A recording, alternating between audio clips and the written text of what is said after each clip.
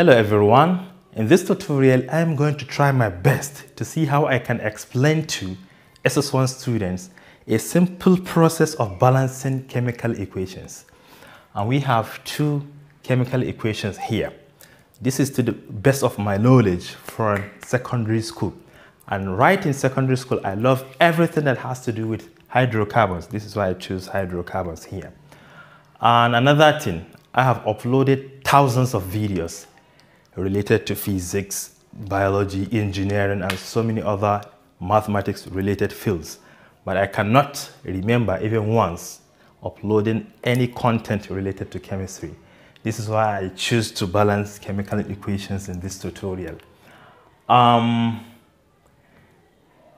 this is a combustion process, right? Of hydrocarbons in the presence of oxygen.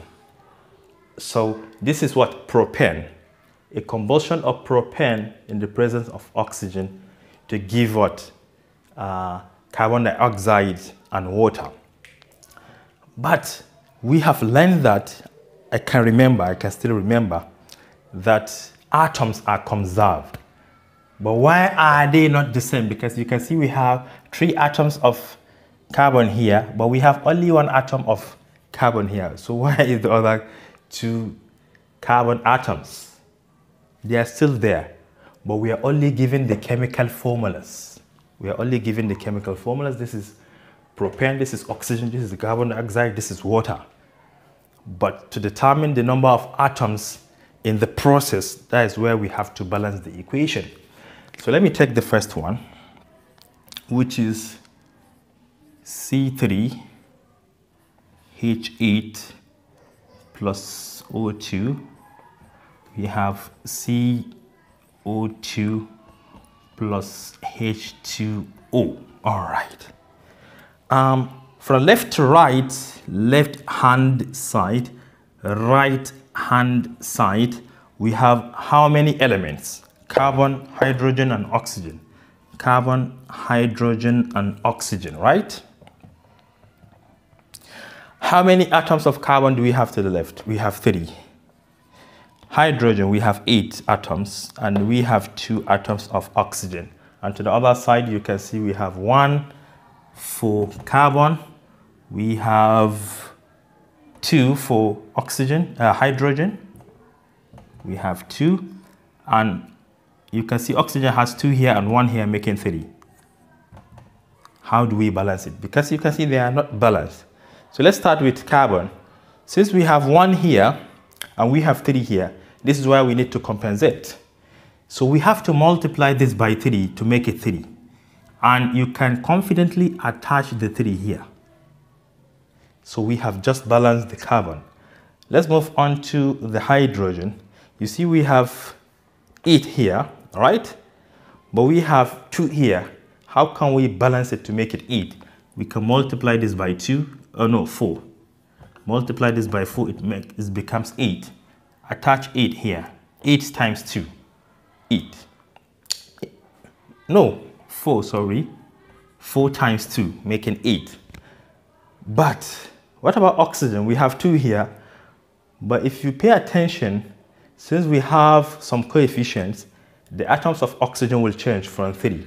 So let me just remove this one. Oxygen, 2 times 6. 2 times 3 is 6.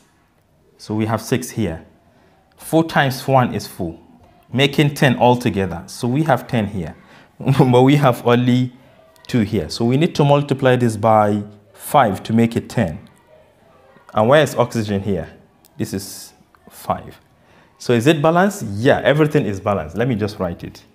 C3H8 plus 5O2 um, we have 3 here, CO2 plus 4 H2O. Now all the atoms are available in this process. Now coming here, let me rewrite it. C4H10. This is butane, right?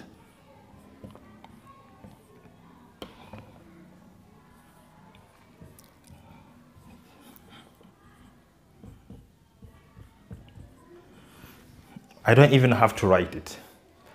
How many carbon atoms do we have here? Four.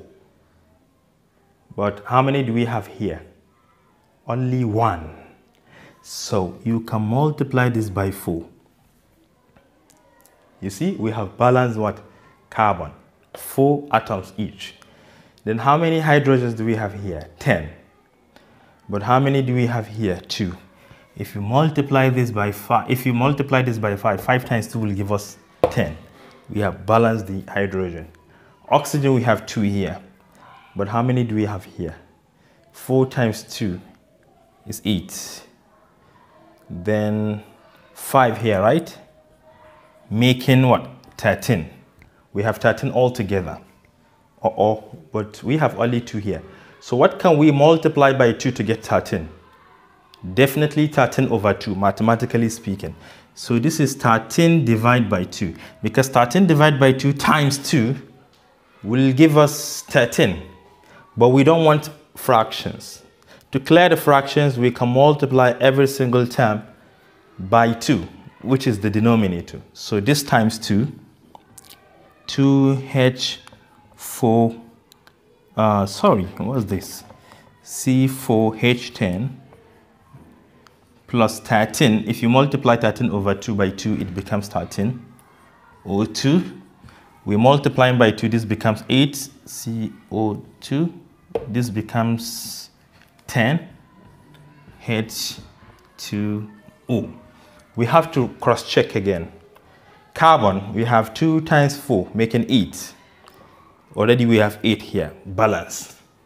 Hydrogen, we have 2 times 10, 20. Hydrogen, hydrogen, 10 times 2, 20, balance. 13 times 2 for oxygen, we have 26. 8 times 2 is 16. Then here we have uh, 10, right? If you add, you get 26. Everything is now balanced. So this is the balance equation for this reaction. Isn't it beautiful?